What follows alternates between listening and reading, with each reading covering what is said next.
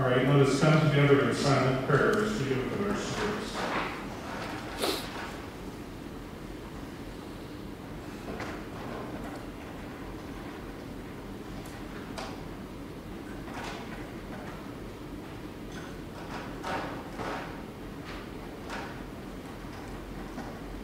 Amen.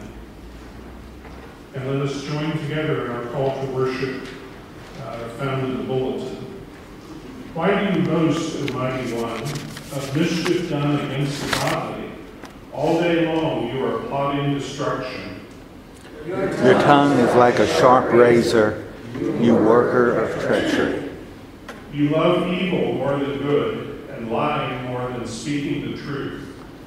You love all words that devour, O deceitful tongue. But God will break you down forever. He will snatch and tear you from your tent. He will uproot you from the land of the living. The righteous will see and fear, and laugh at the evildoer, saying, See the one who would not take refuge in God, but trusted in abundant riches, and sought refuge in wealth. But I am like a green olive tree in the house of God. I trust in the steadfast love of God forever and ever. I will thank you forever because of what you have done. In the presence of the faithful, I will proclaim your name, for it is good. Our gathering hymn is Immortal, Invisible, God Only Wise, number 263.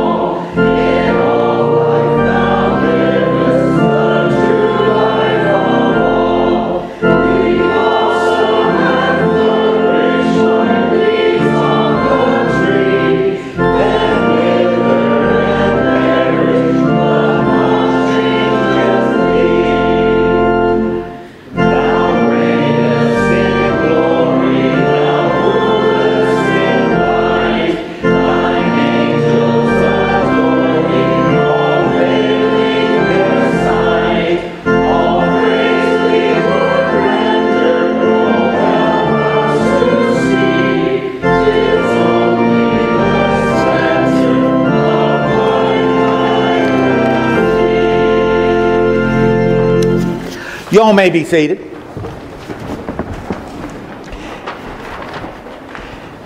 Now, before we have this prayer, I'm gonna, I've got to uh, share something with you. I think there was way too much laughing and joking before the service. Do you realize? You realize if somebody wandered in and heard all that laughing and joking and visiting, they wouldn't know they were in a Presbyterian church, would they? They'd think they'd wandered into a Methodist church. Yeah. So, uh, and remember, because remember, as good Presbyterians, and we all good Presbyterians, right, Brother Michael? We are good Presbyterians. We are. A good Presbyterian, we can do anything we want. We just can't enjoy it. Exactly. Amen. We just can't enjoy it. And y'all were having too much joy early on. So let me see a good Presbyterian face. And if you want to know what that is, look at a picture of John Calvin.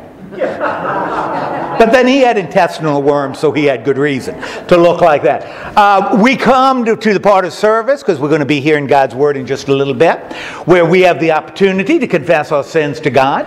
And since we, uh, we commit sins not just as individuals, but also as communities, it's right that we pray as a community, which is the prayer that's in the bulletin uh, that we'll do together, and then we'll follow it with just a brief time for individual and personal confession. So, brothers and sisters, as God's people, let's go before God now in prayer. Gracious God, we confess that we have sinned against you. Often we speak before we listen and act before we think. As a result, we miss the guidance you offer through your word and people. And our words and work become confused and ineffective. Gracious Lord, forgive us and help us listen first. Amen. Lord God, in the silence that follows here, these prayers we lift up to you, and Lord, have mercy upon us.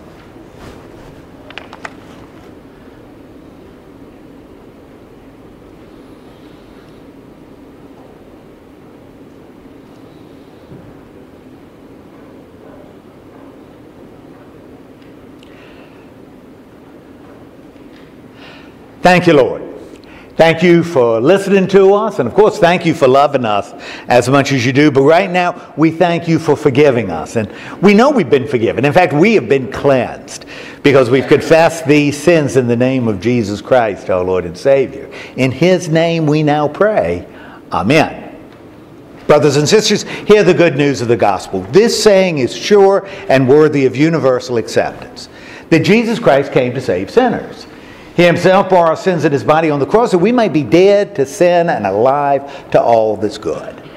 Brothers and sisters, believe the good news of the gospel. In Jesus Christ, our sins are forgiven. Amen. Please stand.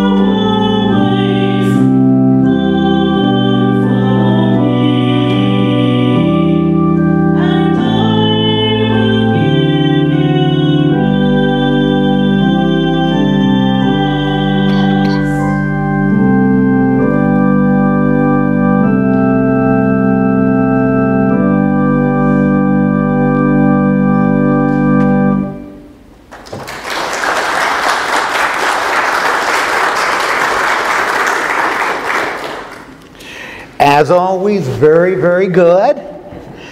And, and Joe, what was this going over here and then coming, coming back? I usually play it on the organ. Oh, I see. So you, you got the piece and moved it back here? Okay. Keyboardist, dime a dozen.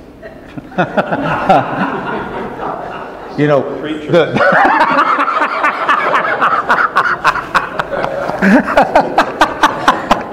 but do you really want a dozen of us together at one time? No. No, no.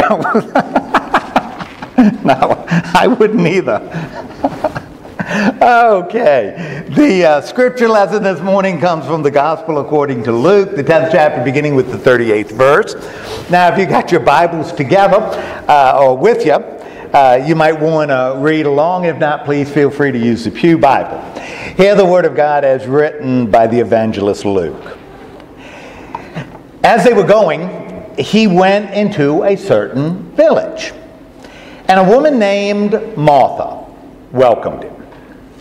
And she had a sister called Mary, and after she sat at the feet of the Lord, she continued listening to listen to his words. But Martha was continually dragged away by much service. After she came up to him, she said, Lord, do you care that my sister left me alone? Or, Lord, you care that my sister left me alone to serve, don't you? Then speak to her so that she might do her part with me. But the Lord answered and said to her, Martha, Martha, you are worried and disturbed concerning many things. But there is need for one thing. For Mary picked out the good portion which will not be taken from her. Amen. Praise God for this reading from His Word. Let's have just a brief word of prayer. Lord God, thank you so much for giving us this time together. Inspire us all that the words that we've heard and the words that we're about to hear, that they may make a difference in the way we live. In the name of Christ we pray. Amen.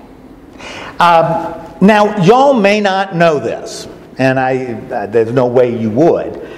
Uh, but twice I've been a commissioner to the General Assembly of the Presbyterian Church USA. Once when I was out in Indiana, and once after I moved here. Now, talk about having more than 12 ministers together. It's pretty intense. Now, I, I think you all know that the General Assembly is the highest earthly governmental level in our denomination. And as such, the uh, General Assembly considers rules and, and regulations and practices for the, the whole Presbyterian Church. And although each time I've attended, not all the decisions went my way or the way I thought they should go, there was one thing about the process that I really liked. And in fact, it's something you see throughout the Presbyterian Church, and I really like it. You see, the Presbyterian Church is really slow in making changes. Now, I know that's going to come as a shock to y'all, but we are really slow at changing, and I think in a certain extent that's a good thing. For example, almost everything we considered at the General Assembly started at Presbytery, started, you know, at a, uh, you know, sort of a down home level. And then it was referred to committees. And the committees met and referred it to the whole assembly. And whether, I don't know if you know, the assembly is made up of representatives elected by different presbyteries, sort of like the House of Representatives. Only none of them are told to go home. Uh, but even when the assembly decides to make a change, even when that's a decision, it still has to go back to 177 presbyteries for their approval. And if a majority of those presbyteries say, yes, we want to make the change, the change is. Thank you. it took a long time. So, yeah, the change is made. That is until the next General Assembly when they may scrap it all and start over again and you thought changes in government were hard. Now, I've got to admit, sometimes this process drives me nuts. You know, everything takes so long. And there's a lot of times that I just wish that one guy would just stand up and say, This is what we're going to do. Don't have to worry about, don't have to worry about assemblies, don't have to worry about people. We're doing this. Make a decision fast, right? Of course, I only feel that way when he or she is going to do what? Agree with agree with me, things I want them to do, then that's okay. So sometimes that's the way I, you know, I feel about the church. Still, all things considered, I really appreciate its slowness, which sort of reminded me of the way I played basketball. Because it simply gives everybody involved the chance to do what? Express. Just slow down, right? And maybe most important, listen for the voice of God, speaking most clearly through Scripture, but also through the voice of His people. Of course, whether we decide to listen to that voice is ultimately up to us, but the opportunity is built into the system. And like I said, I think that's a good thing. Because I got to tell you, Americans in general and American Christians in particular seem to be a whole lot better at talking and even doing than in listening. We aren't great listeners. I mean, think about it.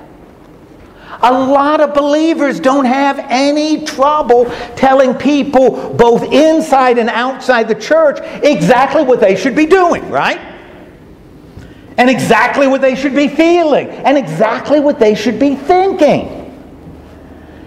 And a lot of folks spend hours and hours and hours talking about and sometimes even set up, setting up programs to reach a certain group of people. I love it when we do that. Man, I cannot tell you how many times I, a 30 year old No, a 60 plus year old minister have talked to other 60 year old plus members about what teens really want in the church. I'm telling them what teens want. Like, I actually know at 62 years old. Man, my daughter listens to people on the radio. I got no clue who they are. You see, that's what we seem comfortable doing. And even though, I don't want you to get me wrong, our motives are good. The motives aren't bad, and there's really nothing wrong with the suggestions we come up with or the ideas we develop.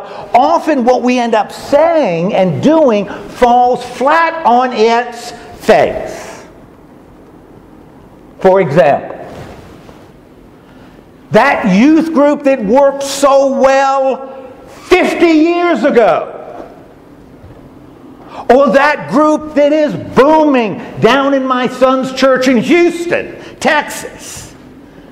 That style group may go nowhere with kids right here in the valley and right now in 2019. And all the changes we make to worship and all the changes we make to our education programs to reach out to young adults, often even within our congregations. What do they end up doing? I'll tell you what they do. They end up ticking off some folks in the church who sincerely believe that the church should be one place in the world where things don't change, where it's always the same. and all our suggestions about how people should live, the values they should follow, the hopes and dreams they should have, even the people they should vote for. Things that we believe actually work when we announce them out there in the world on the other side of the stained glass and even among our own members, man, they seem to roll off their backs like water off a duck. In other words, sometimes it seems that all our talk and all our planning and all our motion and all our activity goes nowhere. We put all this energy into something and it, and it doesn't succeed. And when that happens, well, that, then we start to change, don't we? Because our words stop being ideas and suggestions and start becoming grumbling and complaints, right? You know, modern young people. Alan, can you believe modern young people nowadays? They don't appreciate anything. They sure don't appreciate libraries like they used to, right? They did mine. They did yours? Well, be quiet. Um, and families. They don't raise their kids the way they're supposed to be raised. Am I not right? Yeah, Joe agrees with me. You want to stand beside Joe? Sure. It because we start grumbling and complaining. And instead of trying to figure out how we can be loving on both, both within and outside these walls, we spend far more time trying to find people we can blame for our lack of success. And then rather than acting with joy and enthusiasm, because we have the opportunity, I want you to get this. We have the opportunity to share the good news of Jesus Christ. There ain't news any better than that. And even though we know that people are going to be attracted to a positive atmosphere, we allow our frustration and disappointment with others to come to the surface. And so that everybody can know how unhappy we are with the world as it is. Because it's not the one that we want. I'll guarantee nobody wants to be a part of a complaining community. They don't want to be a member of that. I don't. But you know, that's bound to happen when we talk and act before we do anything else. As a matter of fact, we become no better than good old Martha in the story we just read. You see, Martha, if you had to describe Martha, what word would you use? Martha was a complainer. Well, before complaining, before complaining, what was she doing? What was Martha? She was a doer, wasn't she? She was a doer. You know, the, the one that we told read in the the passage? And I'll tell you, there was nothing wrong with what she was doing. You know, the Greek word that Luke uses in this passage is diakonia. Diakonia. And that was the word from which we get the English word deacon. So she was being a deacon to Jesus. And that was something really, being a deacon was something really important in the book of Acts. You know, put another way, Martha was ministering to Jesus. That's what she was doing. That's what Luke said she was doing. She just wasn't doing random acts of kindness. She was ministering. She was addressing, trying to relieve the, atten- the uh, pressure he was feeling. She was doing something that was good. That's what the word means. And yet, where did he get it? Where did he get Martha in the story? Luke wrote that the more she did, the more she was literally being dragged away. That's what it says in Greek. She was being dragged away from what was most important. I mean, think about it.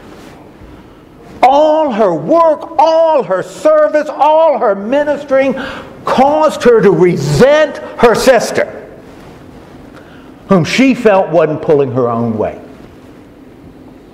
And then it led her to say something that, at least to me, would seem to be pretty appropriate when directed at Jesus. She said, Lord, you care that my sister left me alone to serve, don't you? Then speak to her so that she might do her part with me. Right? She said that to Jesus Christ. Lisa, can you believe that? To Je- would you say that to Jesus? No, I wouldn't either. And finally, it resulted in the Lord saying to her, Martha, Martha, you are worried and distracted concerning many things. Something that Jesus will, will specifically say we shouldn't be. We shouldn't be distracted and worried about a lot of other things. You know, like where we will sleep and what we will eat or whether the Browns will have a decent season this year. We shouldn't be worried and distracted by that. That's what Jesus said. all her service actually led Martha away from Christ. And I think the same thing can happen to us. But that wasn't the case with her sister, was it? I mean, instead of running around, Mary did what? You remember what Mary did? She sat at the feet of the Lord. And she continued to do what? Listen to his words. In other words, she did exactly what Jesus said must happen. For the good seed to take root in good soil, it's what sets his brothers and sisters apart from the rest of the world. Remember, he said, Blessed are those who hear the word of God and obey. And even though that irritated the pudding out of her hyperactive sister, what Mary chose to do moved Jesus to say to Martha, But there is need for one thing. For Mary picked out the good portion which will not be taken from her. And you know, I think he could say the same thing to us.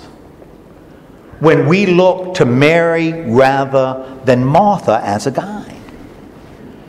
In other words, instead of shooting first and asking questions later, maybe we should reverse the order. What do you think?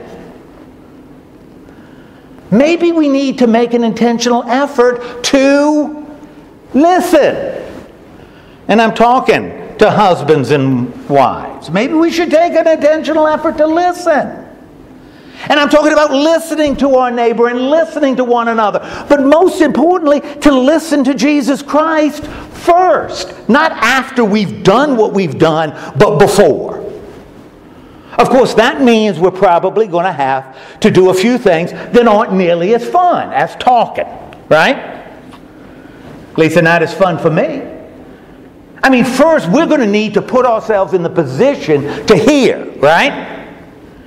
Which means we better take time and make the effort to read our Bibles. You want to know what God has for us? Read. We can read our Bibles. I can only think of one response to that. Duh. But more than that, Man, we can attend worship services and we can attend Bible studies that do more than confirm what we already believe. You know, I really get frustrated. I really get frustrated when I hear a Christian horribly misquote Scripture. You know, twist it all around and misrepresent it and put the phrasing or add words to it and he does it to tell another person what he should be doing. Before we talk, we need to go to the source so that we might know the truth. And I'll tell you, I think that applies to what we plan and do as well. If we want to do anything about concerns and needs, to me it makes sense to go to the ones who have those concerns and needs. For example, if we really care about reaching out to and helping teens, we may need to talk to somebody under the age of 50. Does that make sense? But just putting yourself in a position to hear isn't enough. Because, second, I think we also need to quiet ourselves. Now, I'm going to ask you a personal question. How many, time, how many times have you been in a conversation? Have you been in a conversation? Other person is talking. And as the other, person, you may be doing this right now. other person is talking. And you're there sitting, you're sitting thinking about what you're going to say when it's your turn. How many times do you do that? An hour. How many times an hour do you do that? I do it all the time. Now, you tell me, is that listening? Am I listening to that person? If we ever want to hear God or anyone else, I think we need to settle down and, and I'm saying with all with this, I'm saying this with all due respect, we need to settle down and shut up. But again, that by itself isn't enough. Not if we've decided to be closed to what God or the other person might be saying. You see, that's number three. We got to be intentionally open. And I'll tell you, putting yourself in a position to hear and become quiet is child's play compared to this.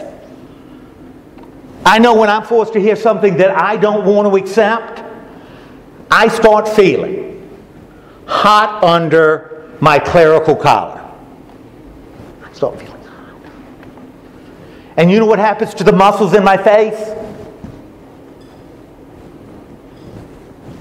They start to tighten. And I feel myself getting ready to do what? Pounce when it's my turn to attack, to respond to that attack, right? You see, I think to listen, we need to be willing to hear the stuff we don't want to hear. And if we ask questions, our goal shouldn't be to debate, but rather to understand. But like I said, this kind of openness is hard. In fact, I think a lot of people would rather cut and run than do it. I mean, good gracious Marie, we, or good night nurse. I have people tell me all the time that they listen to either MS or watch either MSNBC or Fox News. Why do they do that? Watch one or the other? Yeah, it tells them the news they want to hear. Boy, I think that's a good chance to grow. What do you think? It's like being protected from a disease, like wearing a haz what is it, hazmat suits to protect you from viruses and stuff. Openness is hard. But don't get me wrong, I'm not saying we should believe everything that comes down the pipe. But if we decide we're only going to listen to the stuff we want to hear, how are we ever going to hear God speaking in new ways and moving us into new directions? How are we going to hear that? I think stagnation is the best we can expect if we don't listen. But suppose we do. Suppose we seek out opportunities to hear. Suppose we quiet ourselves down. Suppose we become as open as we can. In other words, suppose we take the time to do what Mary did and sit at the feet of our Lord and listen to Him and to others. Well, I firmly believe the results are going to be worth it. I mean, just imagine how it could transform every congregation in this country if that's what we started doing. To say nothing of our marriages and our families and all the other relationships we have, including the one we have with God. Because we're listening to Him, we'll understand what God has called us to be and to do. And because we're listening to people both inside and outside the church, the words that we use and the actions that we take will finally have a focus. And the focus is going to be on who? Them, not us. We'll no longer be answering questions that nobody is asking anymore. Or spinning our wheels meeting concerns that no longer exist. Put another way, we'll no longer be continually dragged away by much service. Nor will Jesus have to say to us, You are worried and disturbed concerning many things. Instead, we'll be able to concentrate our words and our work on the will revealed in God's Word and the needs shared by our neighbors. And we'll be able to do this because, like Mary, we will have picked out the good portion which will not be taken from us. And like I said earlier, this kind of listening is actually built into the Presbyterian system. Of course, we still have the choice whether we're going to do it or not. God hasn't taken away that free will. And I'll tell you, that applies to us here this morning. On one hand, we can certainly choose if, for the sake of time, because the other one, this is much faster, we can start talking and we can start doing. And although doing this will give us some, you know, some kind of satisfaction, If that's what we choose, we really shouldn't be surprised or frustrated when our words and our acts have very little impact. And we certainly shouldn't run around looking for someone to blame, unless that is we happen to be walking by a mirror. But that's not our only choice. Because right here and right now, we can choose to be more like Mary than like Martha. And we can intentionally put ourselves in the position to hear and then quiet ourselves down and open ourselves up. And if this is what we choose to do, if this is what we choose to do at church, if this is what we choose to do at home and at work and at school, we just may be amazed by what happens when we listen first. Amen. Let's pray together. Lord God, you gave us two ears and one mouth. Maybe we should see that as a sign. Maybe we should intentionally listen, which means putting ourselves in the place to hear and opening our minds so that we can understand. Lord God, help us to do that for the sake of your gospel and our sense of service. In the name of Christ we pray. Amen. Let's all stand and let's sing hymn 527 Near to the Heart of God.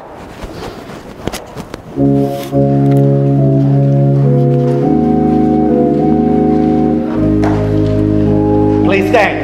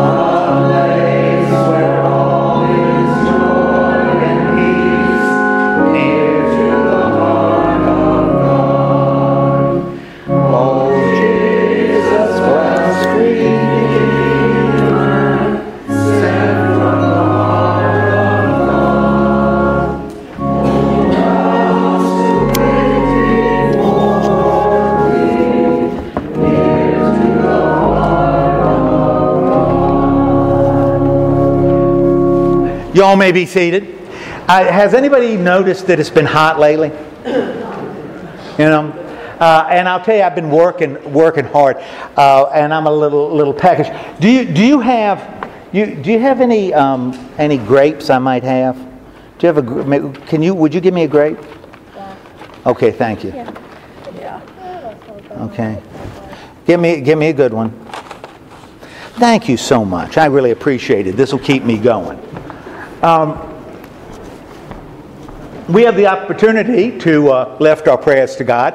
Are there any particular needs or concerns that anybody here might have?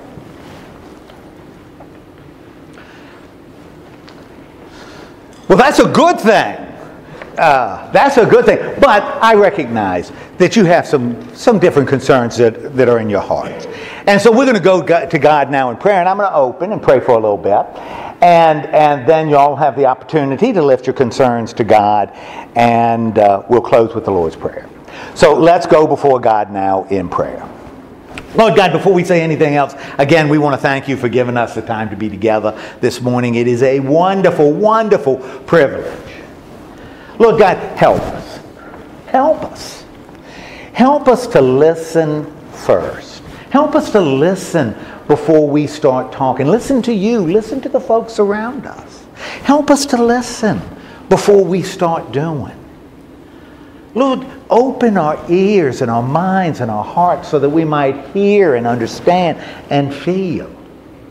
And then allow that what we've heard and understood and felt, help that to guide our response, whether that response is in words or in work. Lord God, help us to listen first. And now, Lord, in the privacy of our own hearts, we lift up to you the concerns that we know so well. Lord God, hear us as we pray.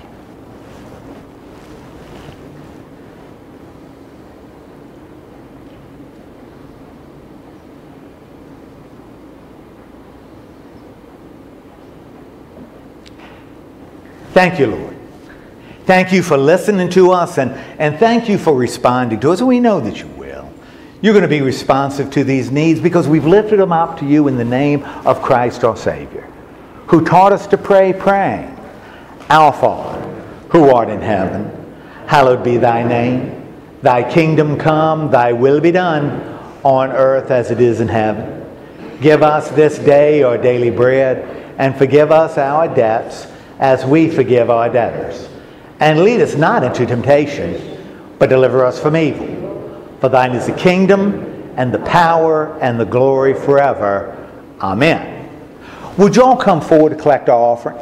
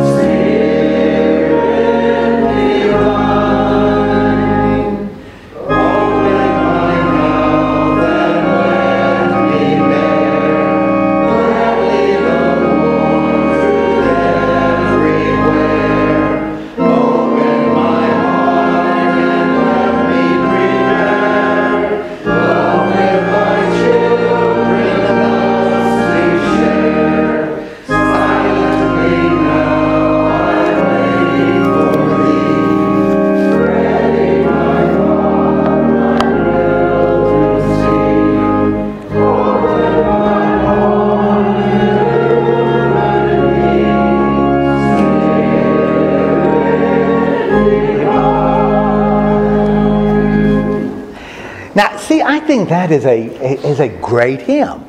You know, open my, what's the first verse? Open my eyes, open my ears, eyes and ears, before we ever get to mouth. You know, that maybe that's not a bad pattern. You know, maybe that's not a bad idea. In fact, let me let that be my charge to you. Let's open our eyes and our ears before we open our mouths. What's that? Good.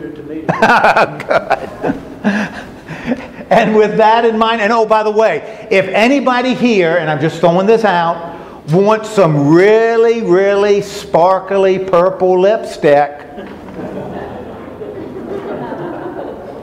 mm-hmm.